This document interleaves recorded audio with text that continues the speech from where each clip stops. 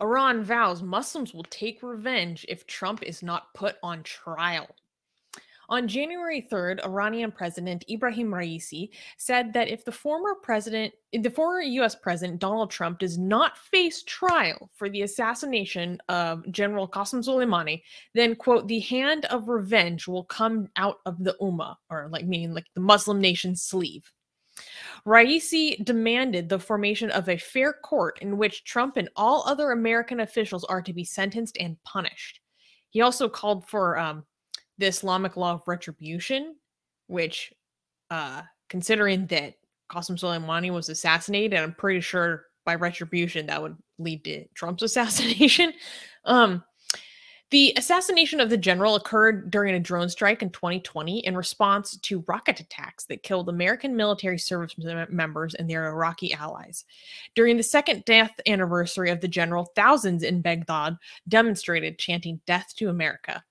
Even though the US coalition against ISIL was announced to cease in December, there are still uh, uh, 2,500 US troops remaining in Iraq.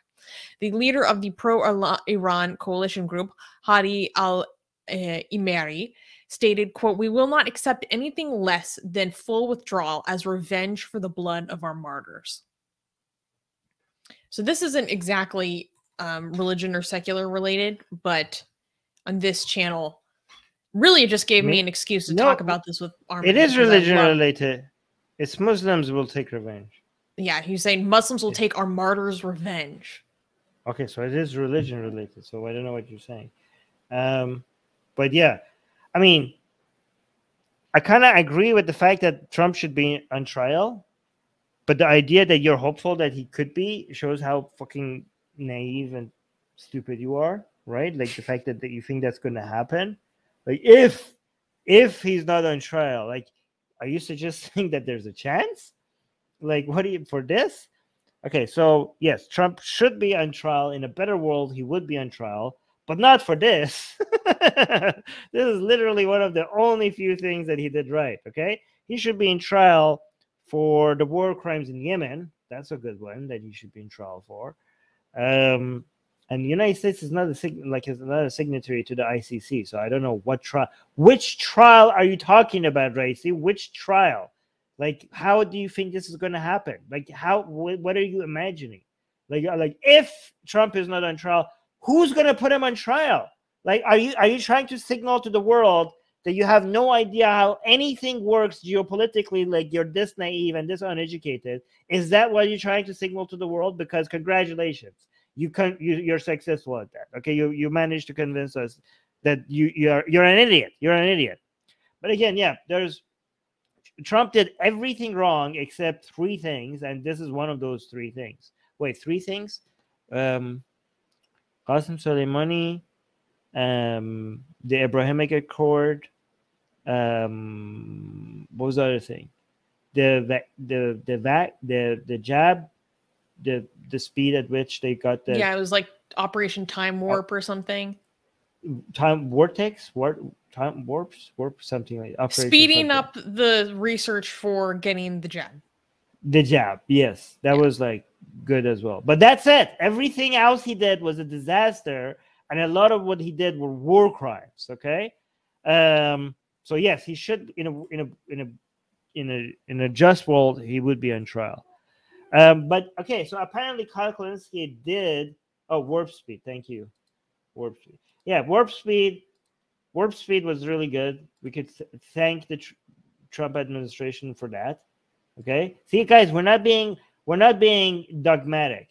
Um, we're not like if we just because we hate Trump, we're not going to be completely deny when he did something good. But yeah, one of the best things he did was assassinating Qasem Soleimani. Okay, it was the best, the best um, non-accelerating response you could have got given to the attack on the embassy in Baghdad. Like, first of all, you had to have a response. There was an attack on U.S. soil, okay, um, and you had to come up with a response that was very strong, very strong. That was a ma- that was an attack on U.S. soil and U.S. personnel, okay. Um, the, nothing like that has happened since like the Iranians uh, took hostage Americans in in the embassy in Tehran, right? That was like like they were it was a it was a giant attack on in, in cap you know in capturing the embassy. They were inside, okay? Um there if you didn't respond like and there were many attacks before it that they had gone before without without a strong response and the us was looking pathetically weak the fact that there could be this many direct attacks at, at us soldiers. Like but the, the reason why there was no response is because they didn't want to enter a war. But you cannot have an, an, another response to that.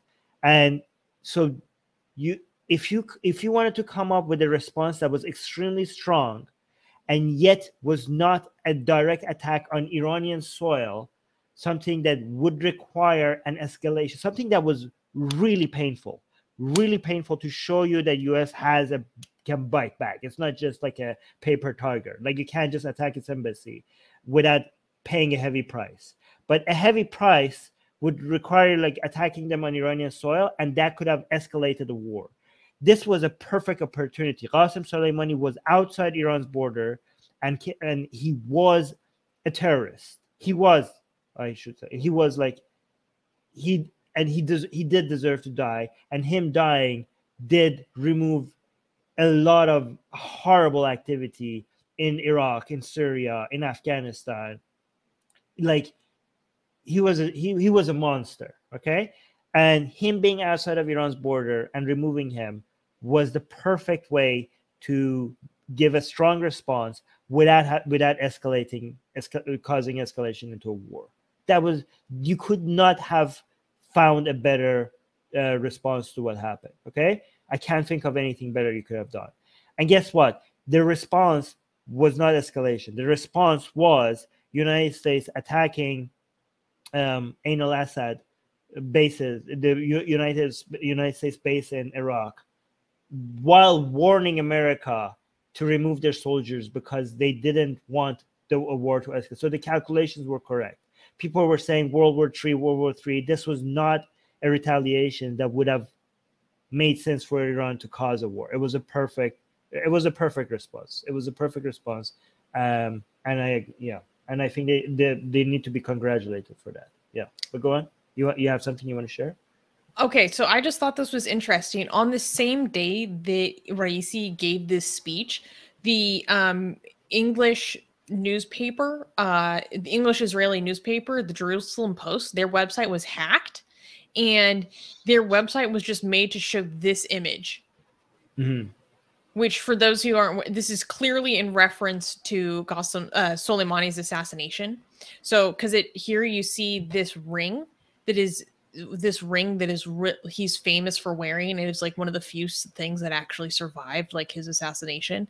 Like this missile coming out of this ring, and then this is supposed to be a um uh, a nuclear research facility in Israel, and then it says we are close to you where you do not think about it and says it in english and hebrew i have i have no idea what this is supposed to mean we are close to you where you do not think about it basically we're coming for you in place like we are hiding in places that you cannot see like we are i mean like, that's what it means but the english is so poor it, the english is really bad but it's, it's very close to a quranic verse where where god says we're closer to you than your jugular vein right like mm. we are basically mm. like basically we have spies everywhere and we're like close to sensitive spots. He's saying it's saying it like you would think that they when they before releasing this they would have a proofreader and they will have better english before like embarrassing themselves like this but apparently apparently they can't even get that right right? Um like honestly like you look at how pathetic we are. We can't even get this right. Okay oh my god. Look at israel's like look at like israel's persian twitter account. Their persian is israel's persian twitter account their, their persian is perfect. They, they, their Persian is way better than me. Okay, and not only the Persian, not only the Persian on Israel's Twitter Persian Twitter account is perfect. They are referring to like very specific sayings in Persian and poetry. Like they're like, who's like culturally accurate too? Culture, yeah, no, it's not just good at Persian. They're very like aware of like very specific cultural like details in Iran. Like who's like whoever's whoever's managing Israel's Persian Twitter account, they need a raise. like, Armin's like, can I have your job?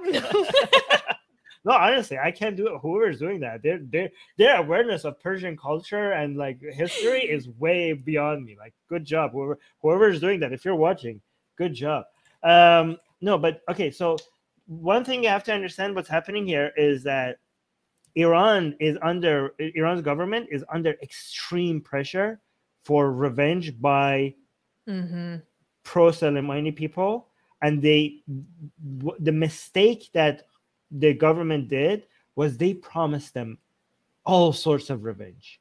They promised them so much revenge because for killing Qasem Soleimani. And people are like, yes, yes, revenge, revenge, revenge, and none of it came, right? And they're like, like, not a single American has been killed in response to the like they they promised like the the fall of the U.S. empire. They're like, we're gonna they're gonna go out of, and they keep escalating they keep promising more revenge, more and more revenge beyond what they like. They are competing against each other, uh, like the the officials about how big of a revenge that they're promising, right?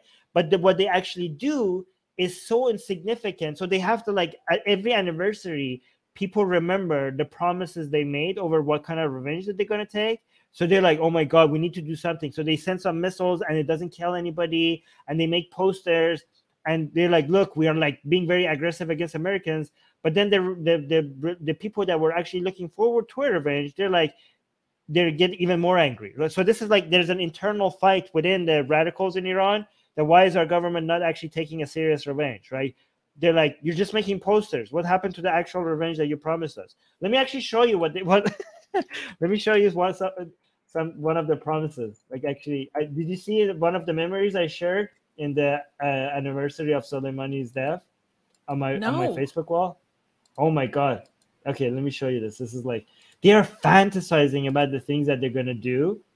Hold on, let me actually my Facebook. Well, the closest they could come was like firing off a few missiles, but then they told Americans that they were coming ahead of time so that they could clear their bases off because they're not act they don't actually want that smoke. Oh True, my but- god. okay, that is what they can do. They can make posters in real life. But this this is their fantasy. is that so, like Angel Soleimani's that, like raining hellfire? on, on the US Capitol. That's Soleimani coming back as an angel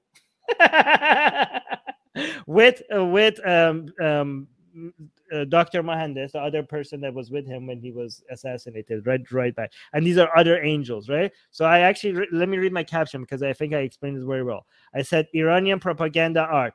Qasem Soleimani returns from heaven, unleashing havoc on Washington on Washington D.C. while American soldiers run away in fear.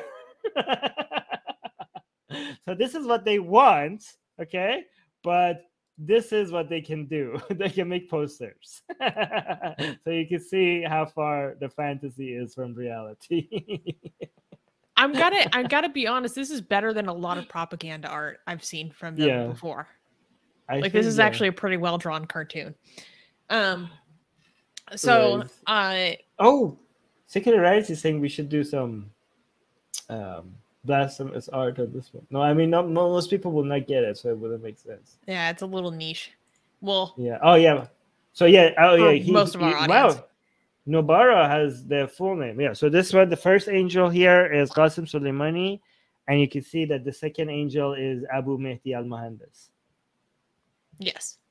Um, some comments doctor. from the live chat. Rudresh is saying, Armin, you got the Kyle Kulinski video I sent, right? So um, Rudresh was asking us to talk about this see. Kyle Kulinski video where he talks about um, this recent call for revenge from Iran.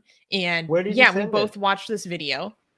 You sent it to me recently. No, so I know you Okay, I sent it to, I sent it to you because I went and found it, but I'm trying to see if we're getting emails from our because I don't I No, he sent it to email. me specifically and I did get his email. Oh, okay. Okay, you did. You did. Okay. Um, but do you think you're going to do a full stream on that because I think you Yes. Would be it would be beautiful to see you do a full stream on that.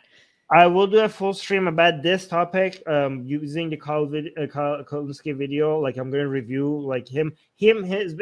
it was his takes are very bad at this. Okay, so I'm going to be criticizing him on the secular jihadist show uh, channel, right? So if you guys want to see me going into more details about this specific thing, this specific news item that we're talking about here, basically uh, about this, um, I'm going to spend an, more than an hour going over the details using the Kyle Kulinski video.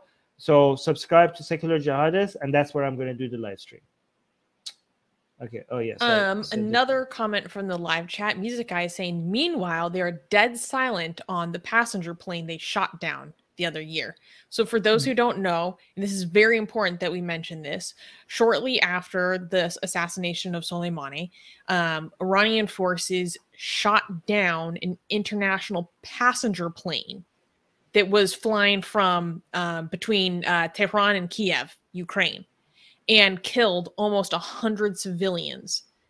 I don't know how this happened, but it was because of somehow, the Qasem Soleimani thing. Well, yeah, they somehow thought that this this airplane was a threat, and they killed this plane full of civilians, women, children, and. Mm. There's been an utter failure from the government to actually hold themselves accountable for this. Um, and it actually screwed up their own ability to do nationalist propaganda over the death of Soleimani because there were massive protests, you know, in support of Soleimani after the assassination that we saw. You know, I remember Armin talking about like I've seen this many people on the street is crazy. And then so they could have really ridden that wave, but so shortly afterwards they murdered so many people, almost 200 they, people and the and so then that was swiftly hmm. crushed and then so many people were coming out in support of this this mm. passenger plane that was killed um so they keep what they want to keep acting like united oh united states killed like Qasem Soleimani but they like united states doesn't kill as many iranians as the iranian government ever mm-hmm. like it doesn't even add up you know like the main curse to the iranian people is the iranian government they literally shoot civilians on planes out of the sky. So yeah. Yeah, Rajesh is saying after yeah. the Ukrainian plane was shot, all the honeymoon period went away co- completely. By the way, good way of putting it. Sorry, I interrupted you. You were trying to make a point. I'm, i apologize. I oh no, but I just wanted to talk about that because um, the the the anniversary of this plane being shot down is approaching on the 11th and there are a lot of people including babak of the persian channel the persian atheist republic channel who are doing a lot to commemorate this event and to hold the anniversary for this event and to also in- raise international awareness about um, ps 752 being shot down to try to hold the government accountable. Um, and then Puya is saying Qasem Soleimani's daughter also made a speech against the US while holding an iPhone. I saw this and she was will, roasted online okay, merciless, mercilessly for I am the going nicest, to cover fanciest this. iPhone. Yes, I'm going to cover this on the Secular Jihadist um, channel as well. Make sure you subscribe. I'm going to go and show you the picture and everything. That was that was so cringe. Anyways, people yeah, yeah, roast, she, they're like death to America. Look at what you're holding, stupid. yeah. Like what she could have used the Samsung just to not be such a hip- hypocrite. Like deaf to America, deaf to America, you're while holding an iPhone. Like just like the nicest, most expensive iPhone. Yeah, the most expensive. Yeah, the, the latest. Yeah, she had to have the latest. Well, um, I, also she's also promoting. She, she's also promoting multi. You know. Anyways, pyramid. She's schemes? trying to send. No, no, no. Yeah, I, will I'll talk about that on secular jobs. Okay. Anyways, next one. Um, Nobara is saying Iran's juggernaut in Iraq and the Levant seems to have wait uh, reduced post Soleimani, right? Or is it just me? Please enlighten me. So Armin, what do you say? Oh yeah, wait. Iran's juggernaut in Iraq and Levant seems to have reduced. Oh my God, significantly. This has been a major blow to them. They their level of control has been so weakened, which actually shows how powerful Qasem Soleimani was when it comes to being able to maintain such a control um, like right now, even the even the pro-Iranian militia in Iraq, they're fighting against each other. They're fighting against each other. Like Qasem Soleimani was like holding all of this in line. Like Qasem Soleimani somehow managed to get the uh, Kurdish uprising to stop all of a sudden in Iraq. He has like the level of coordination and connections and respect that he had all over these areas, in, all the way from Afghanistan to um to the Levant. Like it was it ridiculous. Like this was they this is why I'm saying like that assassinating Qasem Soleimani was the best thing that um, you know they could have done, right? Like they have taught with just removing one person, they have managed to save a whole multiple different nations from the grip of the Islamic Republic of Iran. I don't know how this man did it, but like he, was really good at what he did. So it was good that he they took him they took him out. Yeah. Yeah. Somebody saying Khalsa saying just one man ensured so much power. Yeah, he was like I, I don't know what it was about him. He was he had this charismatic a lot of people were more loyal to him than the Islamic Republic of Iran. So then I don't know if you know this. Some people, some people within the Islamic Republic, some higher ups were actually happy that he was taken out. I remember you talking about this. Because he was so influential and he was becoming so powerful, he was like this messiah. Like the people like looked at him as this like force, and they had so much respect for him. And he would just get people to stop fighting, and he would you, people like you had Sunnis and sometimes Christians joining because they just wanted to be on fighting under this man's banner. Like he was becoming this like holy thing. Um, but uh, and and some people within the Islamic Republic of Iran thought that he's becoming too powerful, uh, and they saw him as a threat. So some people like some people within the Islamic Republic of Iran, some people some people within the government are like, oh my god, thank God that he was taken out because like a, they couldn't question they, they, they one of the main people that actually questioned him was this uh, the uh, foreign minister Zarif, like the, to show him that he's like a, he's a he was acting within the interest of the Russians, um, and he oh, would like right.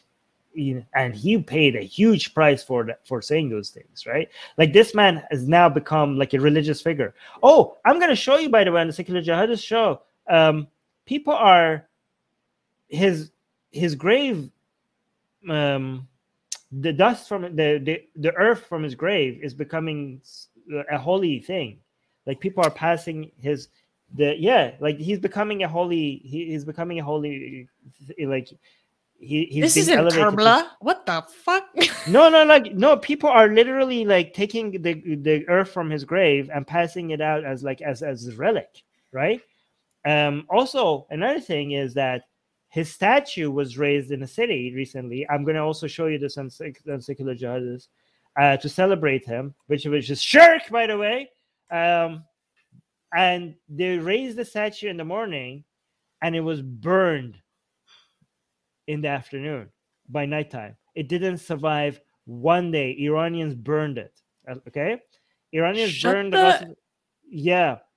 And the next day, people came in protest in protest against the people who burned it and they were crying and they were yelling that it, they wish it was them that was burned instead of the statue they're not saying that they, they, they saw the statue of Qasem Soleimani so holy. They weren't crying and saying like they wish they, they, they were died instead of Qasem Soleimani. They were saying that they wish their body was burned instead of the statue.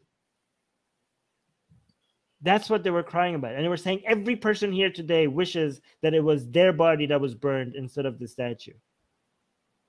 I can't anyway. wait for the secular jihadist episode. oh my god. Yeah.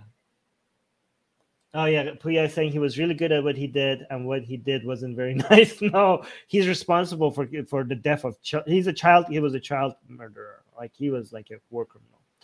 Anyways, people are yelling shirk. Like you, you guys are proper Sunnis. I'm glad that you guys in the live chat are properly telling the, the shirk within the Shia. If if there was Wahhabis here, they would be proud of you to show to see how shirky these Shia these these Shias are. Yeah, I have we have raised a Wahhabi community here, which is I'm so proud of you guys. oh my god. Hey guys, if you're a fan of Blasphemy and Sexy Callie, you know, like me, then you need to be sure to subscribe to our newsletter. Link in the description below. Because if you subscribe, we will send you a free copy of our Blasphemous Art ebook. And let me tell you, it is the tastiest blasphemy that you can find anywhere available today. And we are so generous with our blasphemy that we continue to send you more blasphemy every week. So make sure to subscribe. Link in the description below.